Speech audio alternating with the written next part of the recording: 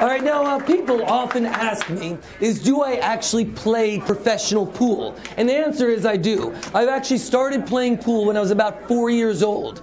I've been hustling pool since I was about nine years old.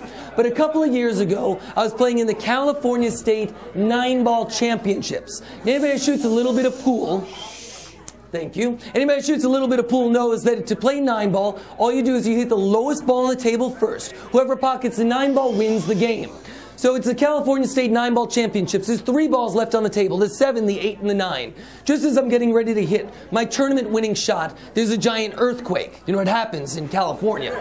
Now, my opponent, he gets scared. He throws his stick down right over there. A piece of chalk lands right next to it. A pool triangle lands over in the corner. The seven ball lands by the side. The eight ball right next to it. The nine ball bounces through the air, lands on top of the seven ball, like that. It could happen.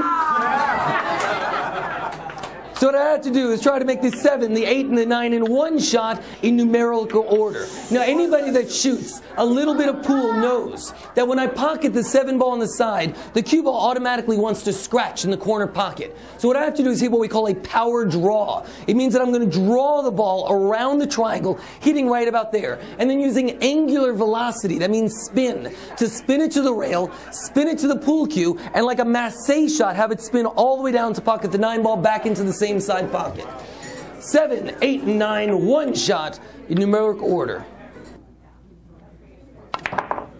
There we go. Stay on there now. Spin down. Yeah, There we go. That's how you do that shot.